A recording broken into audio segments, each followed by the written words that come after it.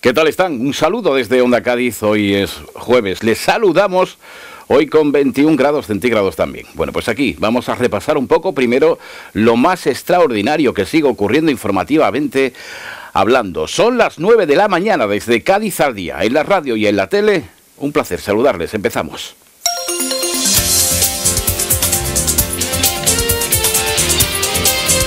Hoy además, en jueves 23 del mes de septiembre, tengo que señalar bueno, primer día completo ya de, del otoño. ¿Qué tal lo lleva? ¿Bien? Bueno, no se nota demasiado, ¿no? Día contra la explotación sexual. Hoy también anotamos Día de la Lengua de Signos. Un saludo para Albor y todos los compañeros también que participan y trabajan con nosotros. Y Día también de la bisexualidad. Saludos también para ellos y para ellas, para todos.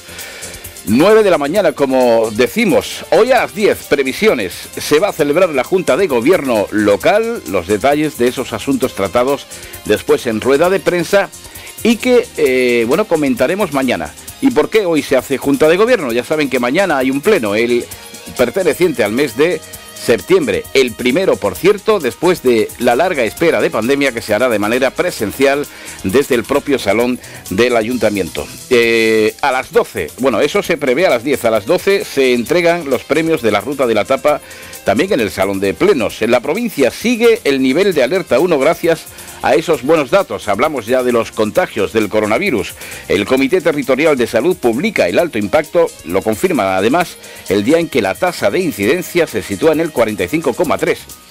Lo supone lo que supone, digo, un bajo mm, riesgo en este caso. Cádiz se acerca a los 2 millones de vacunas, también hay que decirlo. La provincia registra nuevos positivos en las últimas 24 horas, no podía ser de otra manera. Nuevas unidades móviles, además, hablando de la vacuna, para los universitarios, en este caso en el campo de Puerto Real, en el campus de Puerto Real y en el aulario La Bomba. Un total de mil dosis de Pfizer estarán disponibles entre hoy jueves y mañana viernes en horario de 8 y media a 2 de la tarde y después de 3 a 5 de la tarde. Anotamos un total de 1.012.842 personas tienen ya una dosis y casi un millón de personas tienen la pauta completa. Avanzamos con más información en esta mañana de jueves, como decimos, recurrimos a otras cosas, otros titulares. Las noticias de la mañana en Cádiz al día. Y avanzamos en este caso hablando del equipo de gobierno que va a llevar al pleno de mañana a instar al gobierno central la intervención pública en el mercado eléctrico. También presentará una propuesta de apoyo y refuerzo a la educación pública con la que se pretende solicitar a la Junta de Andalucía, bueno, que aumente el personal de refuerzo COVID, que se cubra todo el personal de apoyo necesario para el alumnado, eso sí, con necesidades educativas especiales, y la bajada de la ratio en primaria y secundaria algunas de las medidas. Todo ello mañana también en ese pleno. El ayuntamiento además pide una reunión a la Junta para eh, que rectifique el cierre de una línea del Instituto de Enseñanza Secundaria Rafael Alberti. La concejala de enseñanza, que irá acompañada de la Flampa, espera que la Administración andaluza también recapacite y permita, bueno, dos clases de 22 alumnos y alumnas. Vamos también a hablarles en este caso en el en lo político, bueno, el grupo Ciudadanos denuncia, denuncia sectarismo con los colegios concertados. El ayuntamiento ha anunciado que, bueno, el programa Bicicole solo participará cuatro y quinto de primaria y de colegios públicos. Bueno, para el grupo municipal no es la primera vez, dicen desde Ciudadanos, que se realiza diferencia entre el alumnado.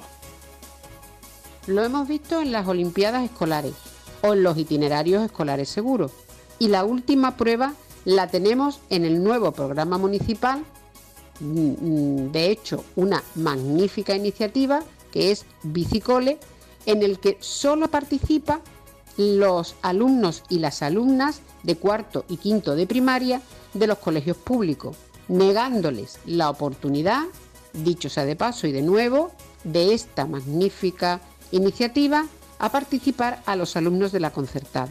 Bueno, pues concejala delegada, concejala en este caso del Grupo Ciudadanos, Carmen Fidalgo, quien nos contaba eso. Por otra parte, el concejal no adscrito, Domingo Villero, propone un estudio de viabilidad y buscar alternativas para el uso de la tribuna del estadio. el nuevo Mirandilla. Villero asegura que tras el enésimo fracaso del equipo de gobierno municipal a la hora de tratar de vender y de este equipamiento para el hotel, bueno, pues es ahora y la hora además de buscar soluciones a un problema, dice que ya se alarga un total de nueve años. Escuchamos a Domingo Villero. Ni se aprovecha el espacio en una ciudad como la de Cádiz, que tan poco espacio tenemos y que las promociones privadas vuelan tan rápido, y por otra parte tampoco se tiene el dinero en caja, esos casi 10 millones de euros, que repito, a la ciudad de Cádiz le haría mucho bien, 10 millones de euros. Y anotamos ahora el eh, mejor balance, en este caso en los últimos años, de la zona franca de Cádiz. Un verano con más de 12.300 metros cuadrados de superficie que han sido alquilados. Y bueno, se prescinde de la cita previa para la atención al público. Será el ayuntamiento a partir del 27 de septiembre de este mes, la semana que viene, cuando no será necesaria ya la atención, eh, no será necesaria para la atención presencial y esto, eh, bueno, eh, eso es gracias a que ha disminuido también el contagio, es lo que quería decir. Por otra parte, la Fundación de la Mujer abre hoy, precisamente jueves, el plazo de inscripción, de inscripción a los talleres Empoderarte con. Se van a impartir una decena de actividades desde el próximo día 4 del mes que viene, octubre, hasta el 17 ya de final de mes de final de año, digo, de diciembre y se va a prescindir de la cita previa, lo decíamos antes, y el peatón toma el protagonismo en la Semana de la Movilidad que seguimos en ella. La Asociación Trébol de Corazones ha protagonizado una marcha saludable que inició en la playa de la Caleta y que ha finalizado en la de San Juan de Dios, en la plaza. Por otra parte, la Delegación Municipal de Turismo presenta proyectos por valor de 3,3 millones de euros en la primera convocatoria de Next Generation. Desde el equipo de gobierno cuestionan los ajustados plazos de estos fondos y piden un mayor margen en los próximos procedimientos, precisamente hablando de estos fondos europeos. Y un FIT renovado y presencial vuelve a Cádiz, esto será ya. En el mes de octubre, el Festival de Teatro de Cádiz presenta su programación y el cartel de esa 35 quinta edición. En esta ocasión se cuenta con colaboraciones del Festival de Otoño de Madrid, el Museo Reina Sofía o también el Gobierno de Portugal. Y queda abierto el plazo también para elegir, atención a los Reyes Magos de la próxima Navidad. Bueno, Reyes Magos que ya está dentro del 2022. La elección, en este caso, regresa a su forma fórmula tradicional. Y el carnaval clandestino, ya saben, se cuela en el Gran Teatro Falla durante tres días. Bueno, pues cerramos hablando de eso precisamente, de ese musical de Tino Tobar, que desde ayer, bueno, pues representa clandestino. Estará esta noche y estará también mañana viernes, tres días consecutivos con un 100% en la entrada vendida ya.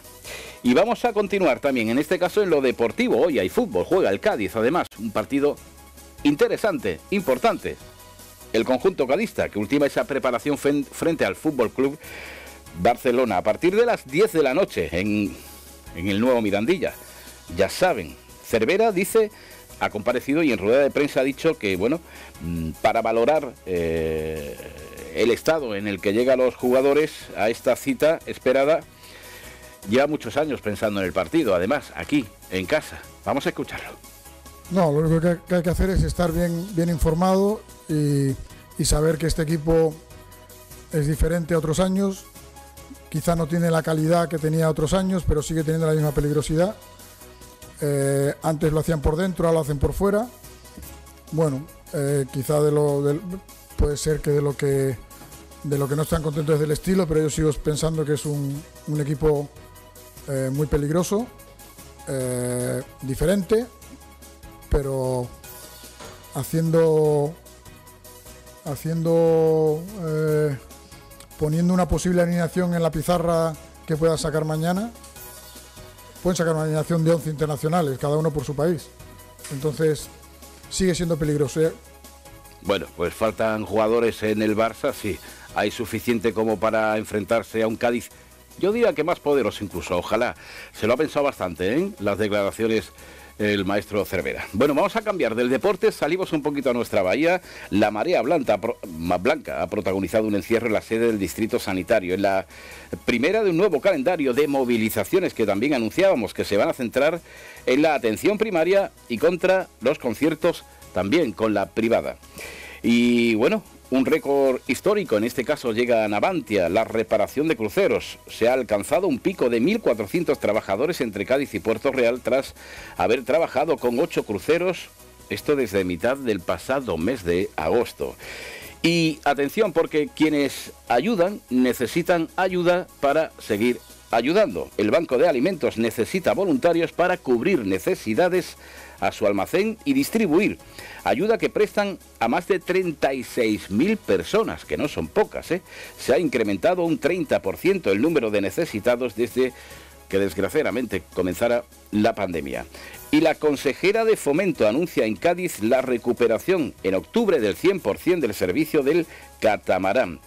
Bueno, Marifran eh, Carazo ha informado sobre reanudar, en este caso, reanudar los horarios y, bueno, también el número de expedientes antes de la pandemia rota y el puerto coincidiendo con el inicio de la gestión de la nueva empresa que se llama Damas. Y vamos a hablar también, en este caso, de la Consejería de Fomento mm, sobre el tranvía.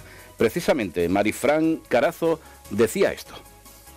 El contrato de, de premantenimiento avanza, tenemos que firmarlo con Renfe, como saben, espero que pueda firmarse en el mes de noviembre y eso pues es el último contrato y el anterior al contrato de explotación para poder poner en servicio el tranvía. No queriendo dar una fecha, puesto que necesitamos firmar esos contratos que aún están pendientes, sí puedo decir que con la infraestructura terminada y la firma de contratos, tal y como hemos indicado, su puesta en servicio se desarrollará a lo largo de 2022. Bueno, pues el servicio del catamarán funcionando desde hace años y hablando del tranvía, esto es lo que decía. Y también, ¿qué decía en este caso Pep Villori, presidente de Fenamix? ¿De qué estoy hablando? Bueno, ya adelantábamos la previsión por parte de los loteros de la provincia de secundar una protesta para reclamar a Loterías y Apuestas del Estado una revisión de sus comisiones por ventas. Eso ocurría ayer, esto decía. Reclamamos la actualización de las comisiones que no se han revisado desde el año 2004. Desde el 2004. Bueno, pues eh, parece ser que nueva reivindicación, si la cosa no se formula de otra manera, tendrán ocasión de, de, publicar nuevamente. Bueno, vamos a hablar de ilusión y responsabilidad para un nuevo curso universitario.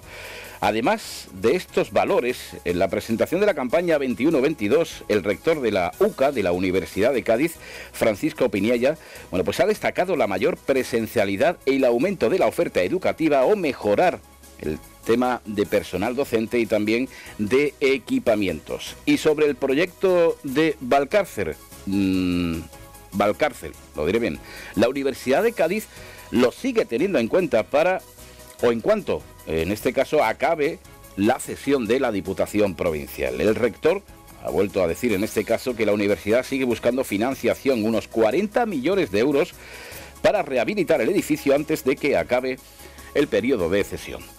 Y para mañana viernes se celebra el Día Mundial de la Investigación en el Cáncer. Bueno, pues la Fundación Científica de la Asociación Española contra el Cáncer ha becado a una alumna de biotecnología, en este caso de la UCA, para hacer prácticas en el grupo de investigación de oncología matemática aplicada a la leucemia.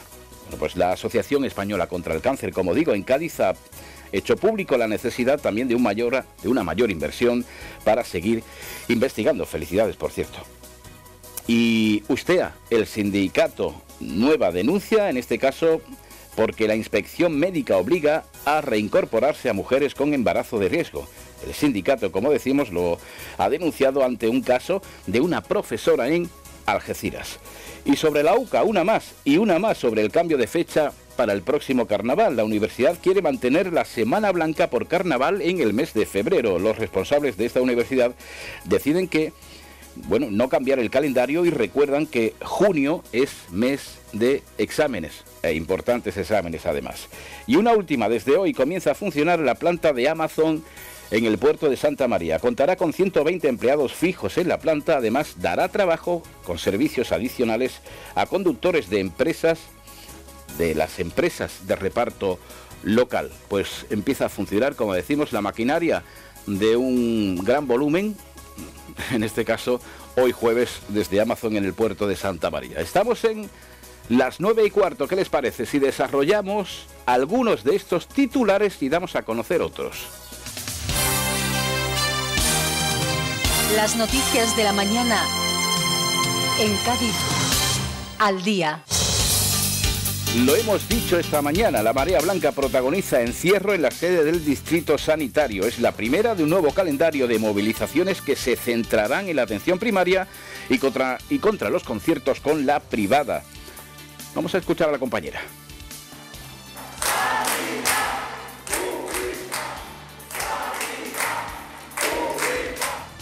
Representantes de la Marea Blanca Gaditana han protagonizado una protesta en la sede del Distrito Sanitario Bahía de Cádiz de la Janda, en la capital gaditana.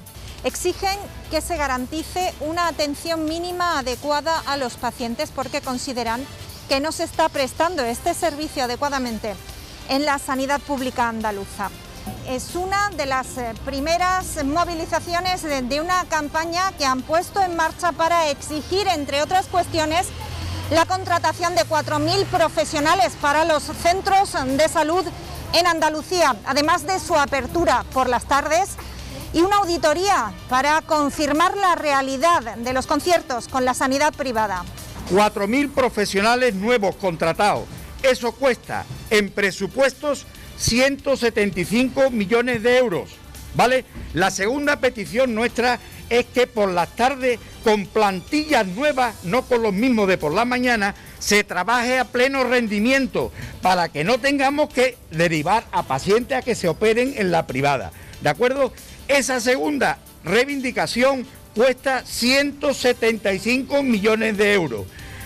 Sumando los dos salen 400 millones. Bueno, pues presupuestariamente solo el concierto de Pascual supera con creces cuatro veces estos 500 millones. Se ha comprometido en llevar a cabo una campaña para recuperar la sanidad pública. Bueno, pues esto ocurría ayer y allí estuvieron las cámaras y los micrófonos de Onda Cádiz. Por otra parte, la Delegación Municipal de Turismo presenta proyectos por valor de 3,3 millones de euros a la primera convocatoria de Next Generation. Desde el equipo de gobierno cuestionan los ajustados plazos y bueno, piden un mayor margen en los próximos procedimientos de estos fondos europeos. El proyecto para el desarrollo turístico sostenible de Cádiz es el primer plan pormenorizado que el ayuntamiento presenta a los fondos Next Generation, una estrategia por valor de 3,3 millones de euros con cuatro ejes programáticos que contempla actuaciones encaminadas a la eficiencia energética, la transición a modelos sostenibles, mejoras de accesibilidad o modernización de los recursos y negocios.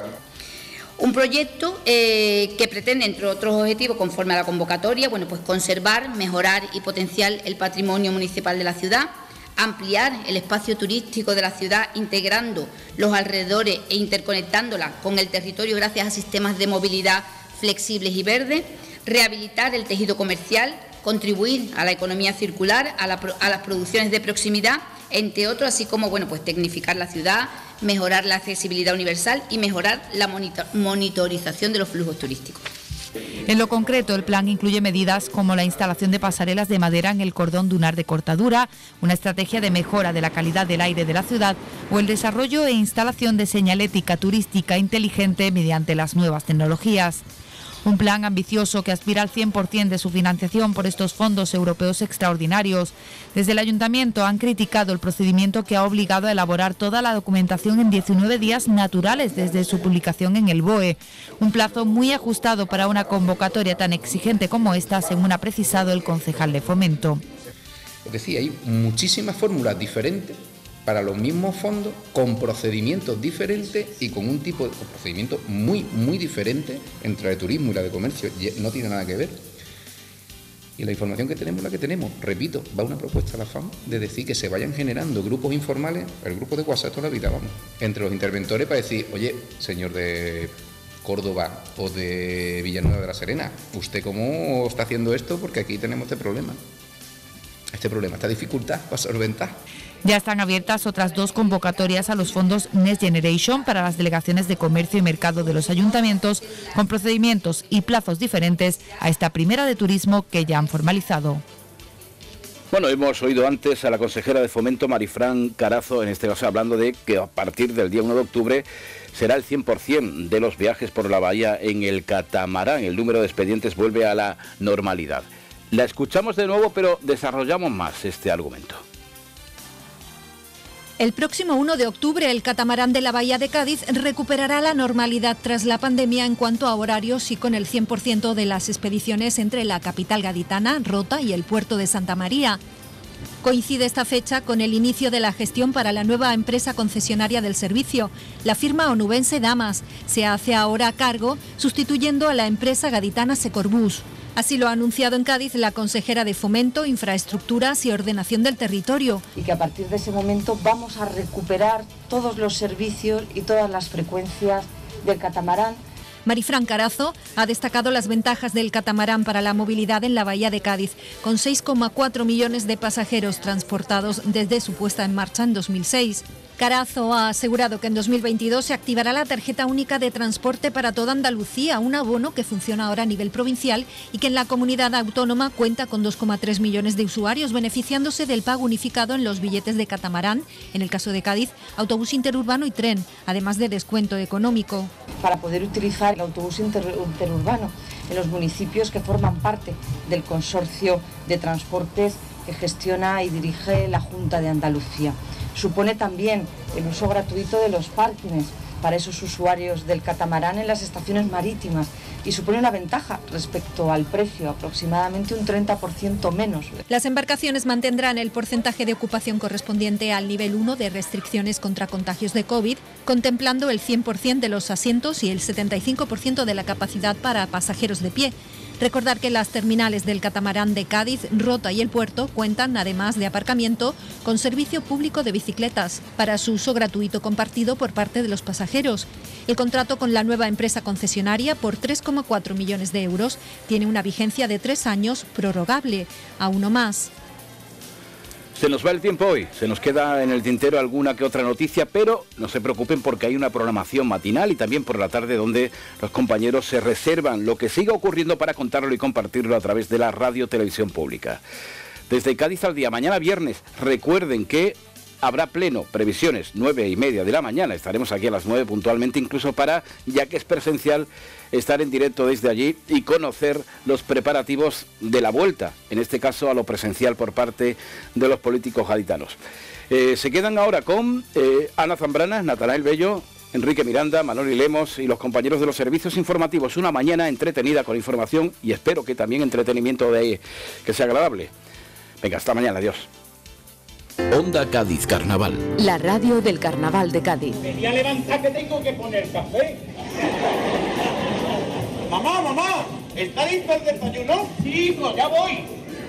Hice comiendo la torrija que tenéis en Noa. De lunes a viernes, de 3 de la tarde a 7 de la mañana del día siguiente y el fin de semana completo. 92.8 FM y por internet poniendo Onda Cádiz Radio.